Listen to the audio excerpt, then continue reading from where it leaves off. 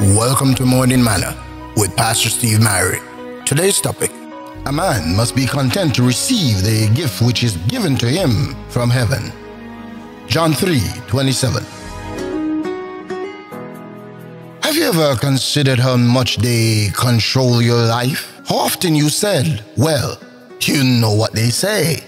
You see, they set the standard and we wear it, drive it, or do it.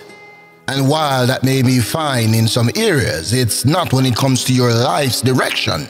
Jesus said, If the Son makes you free men, you are free, unquestionably free.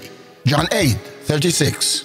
That means free from the pressures of others' expectations, free to be who God has called you to be, and free to look to Him for answers instead of running to other people. Listen, a man must be content to receive the gift which is given to him from heaven. John 3 27. There are those, because of their background, they struggle with insecurity and was competitive, jealous of others' possessions, abilities, and accomplishments. They will try to keep up with certain people or to be like them.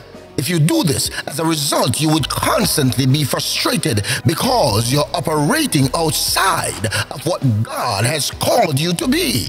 In other words, you're not being yourself. When you finally realize that you could only be who God had ordained you to be, then you can begin to say, I am who I am.